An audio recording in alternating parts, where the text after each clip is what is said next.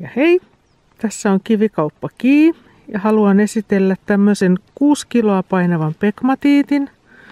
Tässä on pinkkiä turmaliinia eli rupeliittia, lepidoliittia, natrimaasälpää ja kvartsia.